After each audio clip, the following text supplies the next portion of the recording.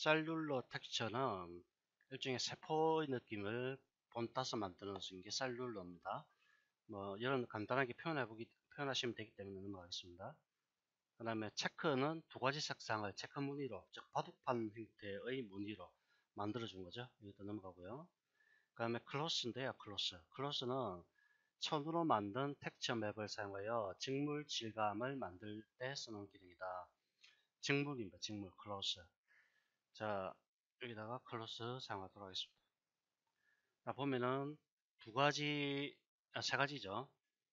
수평으로 된 부분과 수직으로 된 부분, 그 다음에 수평과 수직 사이에 중간중간에 이 부분이 있는데 이걸 갭이라고 합니다. 즉, 갭 컬러와 U 컬러, V 컬러 세 가지가 있는데요. 이 갭이라는 것은 이 가운데 있는 이 부분, 수평과 수직 어, 섬유 사이의 어떤 그 공간, 이걸 갭이라고 얘기합니다. 그 다음에 컬러는 수평 방향입니다. 수평 방향의 어, 떤 천, 천재질을 표현하는 거고요. V는 수직 방향의 천재질을 표현할 때 쓰는 기능이죠. 자, 색깔을 통해서 한번 해볼까요? 지금 기획 컬러 부분 이거와 같이 맞춰보죠. 기획 컬러 그 다음에 U 컬러 V 컬러 자 이렇게 설정되어 있고요. 나머지 기본 값입니다. 자 여기다가 apply 시키겠습니다.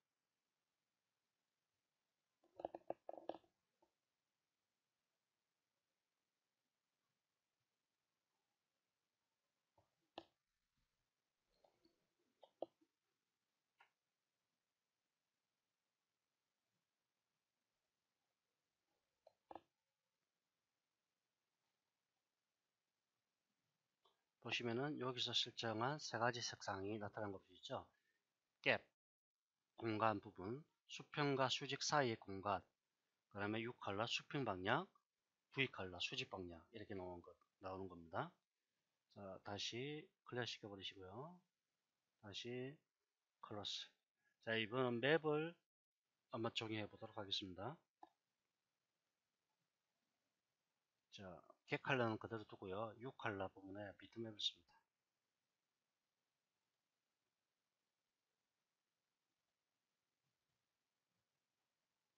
자, 파이벽, 파이벽 재질을 쓰도록 하죠.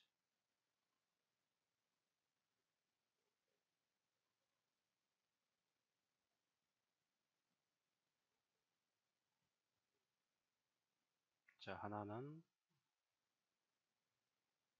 요거 쓰고요. 자, 또 다른 하나는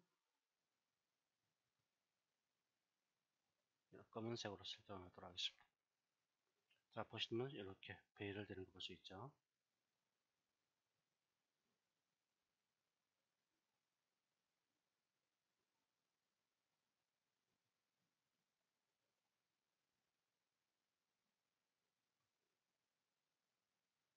자, 앞서 보신 바와 같이 표현이 안 될 때는 이 최상위 부분으로 최상위 메테리얼로 백, 백 하셔서 최상위 메테리얼로 이동하시기 바랍니다. 그러면 정상적으로 나타날 겁니다.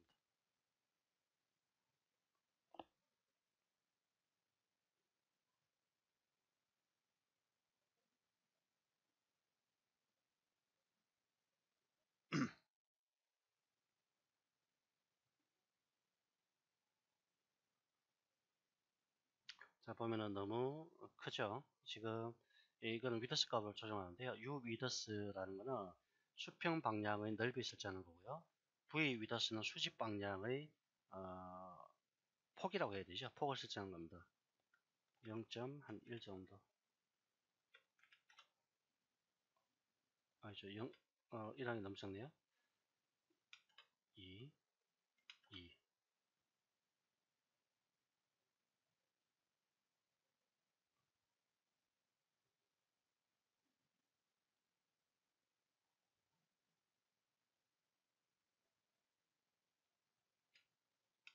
어, 2 이상 못 가네요, 이게. 어, 1이 최대로 설정이 되어 있습니다.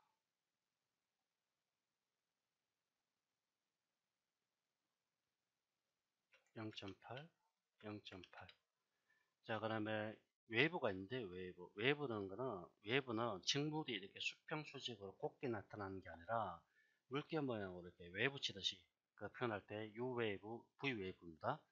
X 그 방향으로 waving 칠 때는 U 웨이브고요. V 방향은 이렇게 나타나게 되겠죠. 자, 다음 보- 보면요. 이렇게 웨이브를 0.15 정도 두는데 한번 미리 보기 보면서 한번 설정하겠습니다. 0.05, 0.05. 아니 이건 1로 하죠 그냥. 0.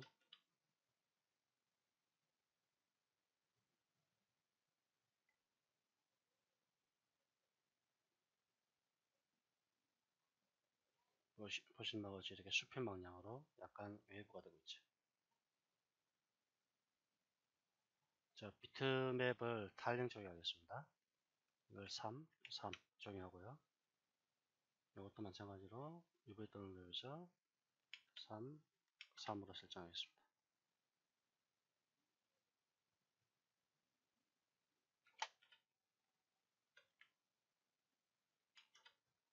(0.2)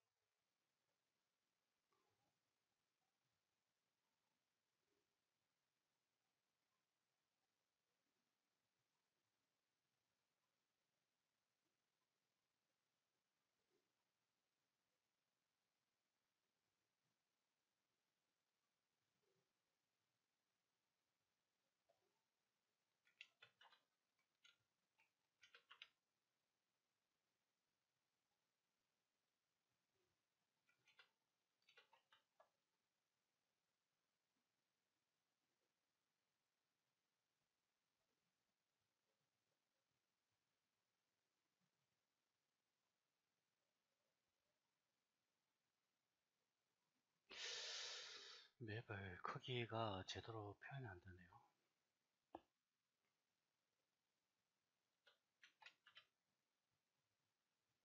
값을 낮추겠습니다. 0.2, 0.2.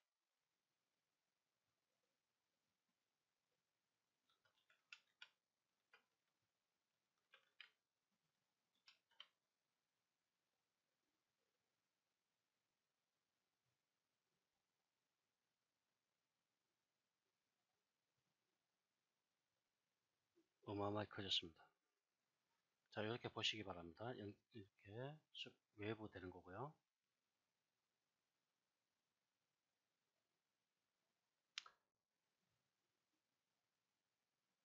음, 자, 맵을 빼버리고요.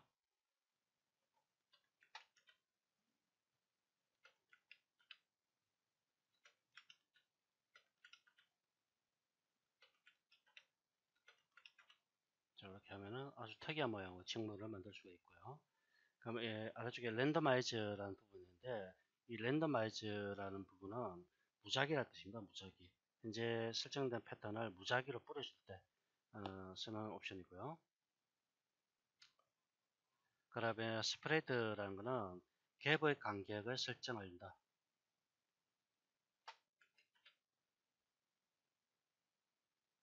올리면은 이렇게 갭 간격이 늘어나게 됩니다.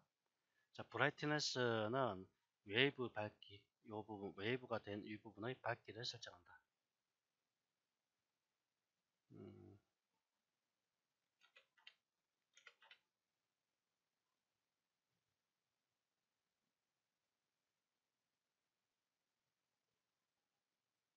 자, cloth의 전체적인 tiling 여기서 설정했습니다.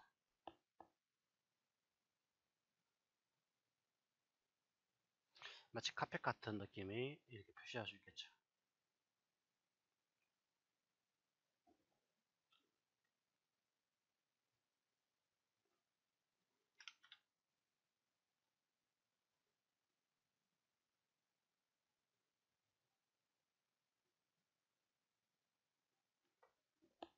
자, 이렇게 훨씬 낫네요.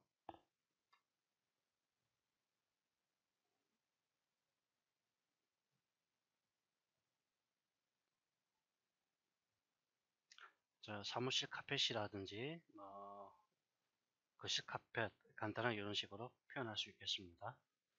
자, 수고하셨습니다.